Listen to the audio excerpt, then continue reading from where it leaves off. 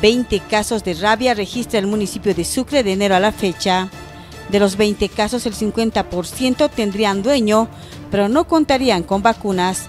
Ante este incremento de casos, este 11 de junio se realizará la campaña de vacunación contra la rabia, anunció César Ríos, director de epidemiología. Se ha reportado en anteriores horas el caso número 20 de un can de aproximadamente tres meses de edad correspondiente al distrito 5 del barrio San José. Eh, es un can conocido con propietarios, lamentablemente sin vacunas.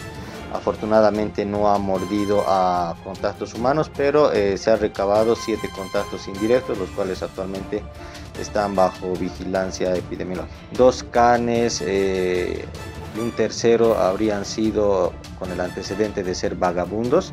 El resto pues son canes que contaban con propietarios y eh, ninguno con las vacunas correspondientes, ni siquiera de la pasada gestión. Las campañas masivas para tratar de llegar al 100% de cobertura. Posterior a esto pues las personas que tengan mascotas menores a 12 años lo pueden realizar la vacunación en el Centro Municipal de Zoonosis. En este caso de los menores de 3 meses lamentablemente sin eh, antecedentes de vacuna.